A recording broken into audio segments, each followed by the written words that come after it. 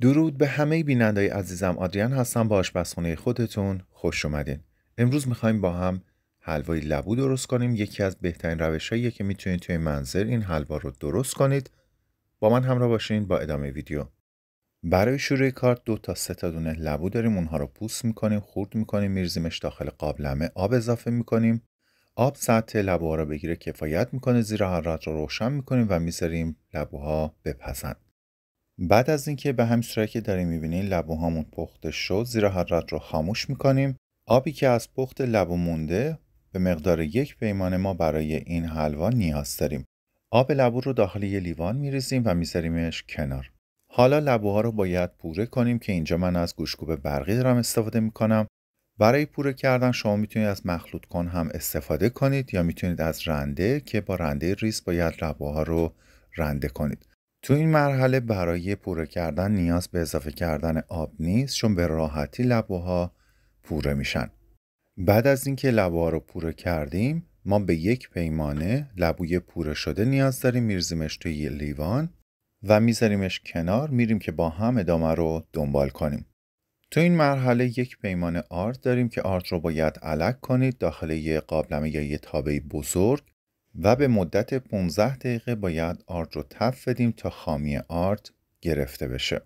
حرارت باید کم باشه. ما نیاز نداریم که رنگ آردمون عوض بشه. همین که بوی خامی آرد گرفته بشه کفایت می‌کنه چون اگر رنگ آرد تغییر بکنه توی رنگ اصلی این حلوا تاثیر می‌ذاره. اگر هم داخل آرد گلوله هایی رو دیدید با پشت قاشق کاملا این گلوله ها رو باز کنید.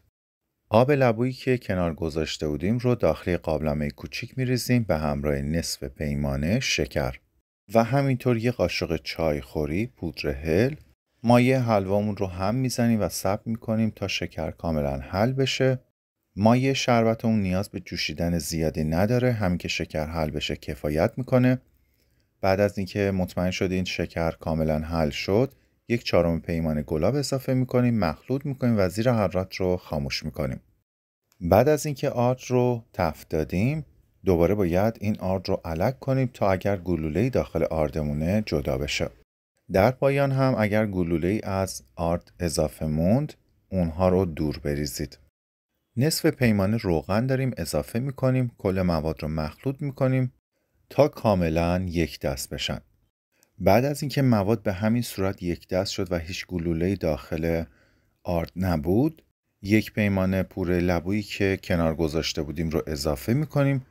کل مواد رو با هم مخلوط می‌کنیم. همونطور که داریم می‌بینین بسیار رنگ قشنگی داره. دوستای عزیزم که تا به الان طرز تهیه حلوای هویج رو ندیدن همین بالا براتون قرارش دادم که به راحتی می‌تونید توی منزل حلوای هویج رو هم درست کنید.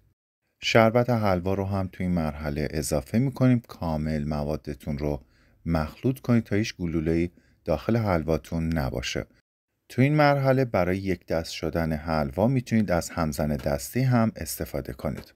بعد از اینکه کامل شهد با موادتون مخلوط شد و حلوا در حال سفت شدنه دو قاشق غذاخوری کره داریم که توی این مرحله اضافه می‌کنیم.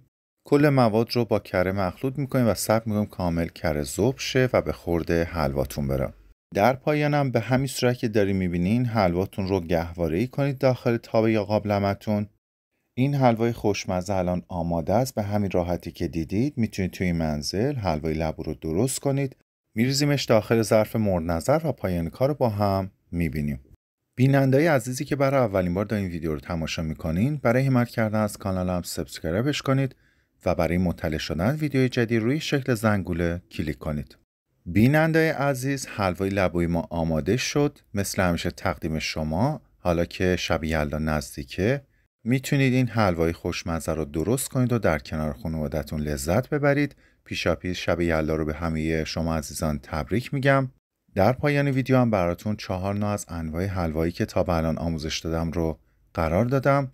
این حلوا بسیار خوشمزه با بافتی نرمه. حتما درستش کنید نظراتتون رو برای من کامنت کنید. مثل همیشه مرسی که تا به اینجای برنامه با من بودین. لایک و اشاره گذاری و فراموش نکنید. هر جا که هستید پر از آرامش باشید. تا درودی دیگر بدرود.